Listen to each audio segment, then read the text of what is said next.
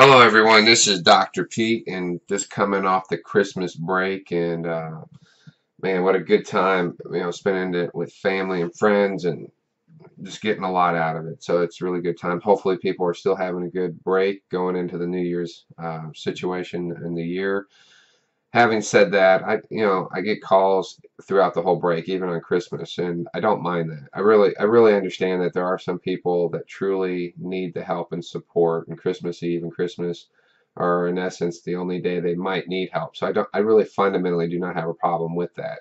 Uh, having said that, you know it happens. Uh, some students text, which I think is pretty cool. It allows me to continue doing holiday events, but at the same time not getting stuck in a phone call in the middle of some family event. So I, I do appreciate that as well. So I think technology really is cool in a lot of ways. And having said that, I would always tell students really contact professors or anyone um, dealing with something like this at an absolute worst case scenario, meaning can it wait till the 26th? Is it really that big of a deal? Because even though professors do want to help, and I believe that fundamentally, uh, most do, uh, there are limits, you know, so just kind of put that in perspective.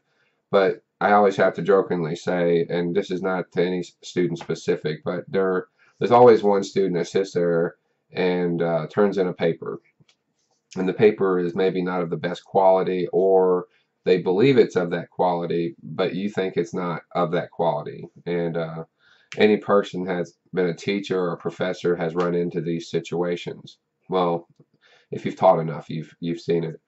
And my favorite is when someone becomes a lawyer or when they become um, I don't know how to say this they become a great writer and researcher after the fact. Like they'll actually go in and analyze every aspect every video every policy every syllabus comment and they'll make this long paper defending what they did.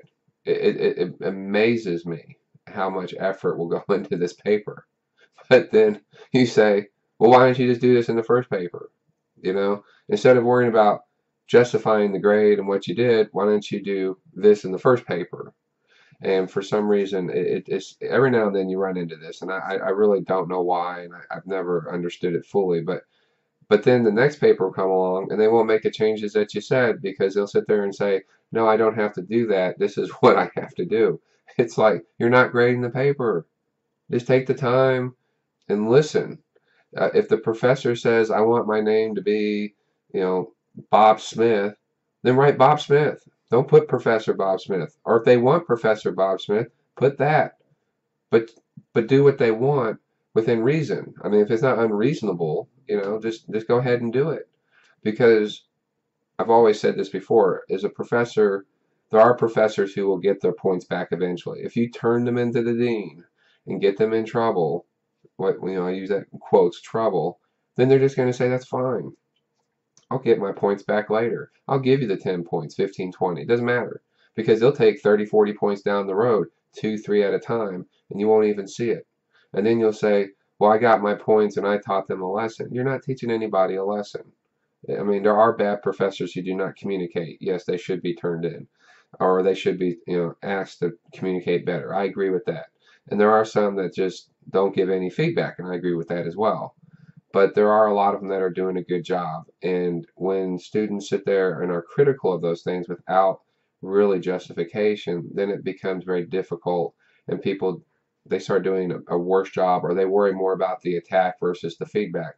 Another thing too is it's okay to give compliments, and I know this is a crazy concept, but if you want to, it's okay to call a school and say this professor is doing a great job. Uh, it's not about me. I'm retired military. I can, doesn't really matter if I teach or not. But there are people who really depend on this. So I always say the rule to my kids is if you're willing to make complaints, then you should be willing to make compliments. And you should be willing to call people and say, you know, this person did an excellent job. I, I don't I don't want a gift card and I don't want um, a bonus or some special mailing or discounts or whatever. I just want to say and express this person did a great job. And and what's really interesting, I've studied people for many many years.